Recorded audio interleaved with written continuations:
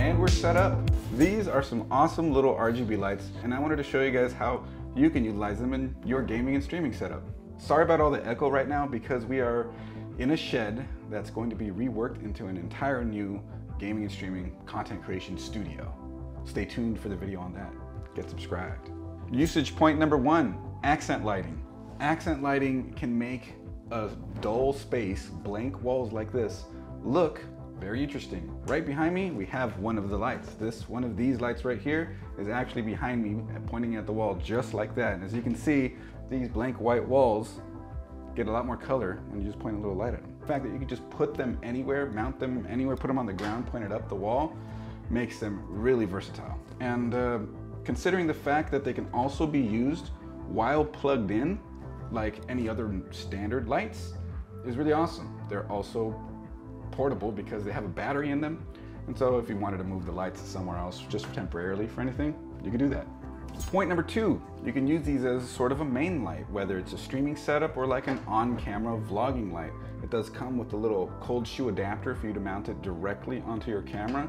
But in terms of streaming stuff, you could just set it up, point it at yourself, make it white or the color that you want it to be, and here it is working by itself with the light behind me as well up on the wall, working as a, a type of fill light or main light. And it gets the job done pretty well. Point number three.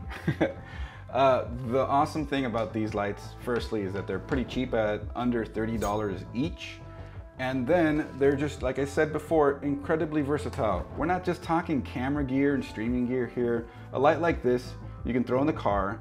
You could take with you. If you go camping, you can do anything like that and use this as a light that you can even you know, wirelessly control or whatever, but use it anywhere you go, not just for content production. This just works as a good general purpose light, just as good as anything. Hey, real quick, if you like this video or are getting any useful information out of it, make sure you hit that like button and subscribe. It'll really help us out. Also, I stream to Twitch every Friday at 8 p.m. Pacific at twitch.tv slash Coalition Gaming Crew. So if you want to talk more about this stuff, stop by. So one downside to this is that it's only controllable via the app on the iPhone or Android. There's no other buttons other than the power button on this thing, so that is kind of a downside. However, the app is really powerful. You can do a whole lot of stuff. You have all sorts of special effects, like here's fire truck, for example, or if you wanted to have like a little flame effect, there's a bunch of effects on it.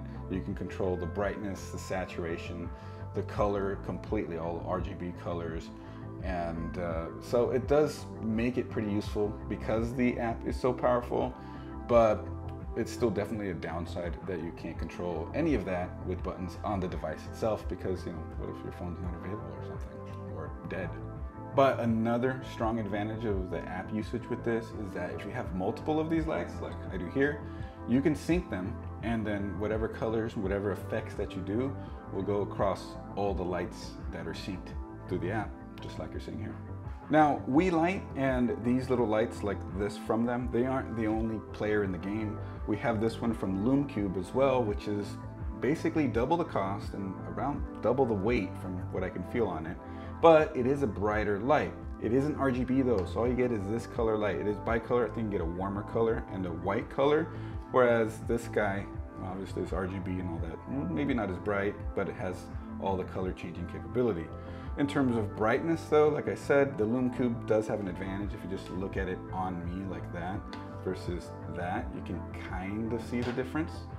So if you need all out brightness, then maybe this wasn't the one for you. Maybe go with the more expensive option. But if you want maximum versatility, decent brightness, and all that, um, these guys at 30 bucks is pretty hard to beat. If you like lighting or stream setups or anything like that, click right here, check out this video.